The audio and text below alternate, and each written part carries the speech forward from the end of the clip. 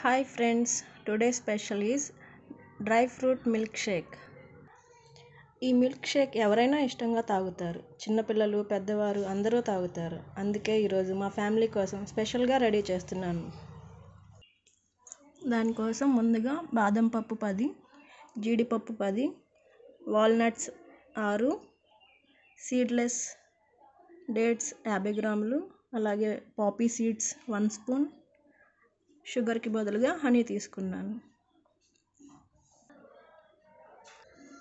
వీటన్నిటిని గ్రైండ్ చేయాలంటే ముందుగా హాఫ్ అన్ అవర్ హాట్ వాటర్లో వీటన్నిటిని హాఫ్ అన్ అవర్ నానబెట్టాలి.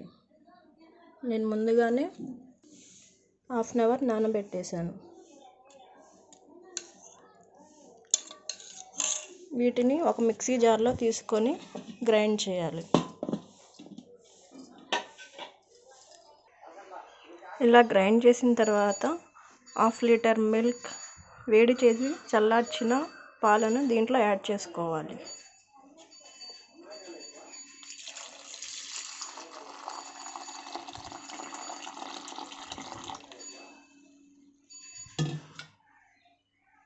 మళ్ళీ గ్రైండ్ చేస్తే మనకు కావాల్సిన మిల్క్ షేక్ రెడీ అవుతుంది. దీంతో పాటు హనీ కూడా యాడ్ చేస్తున్నాను.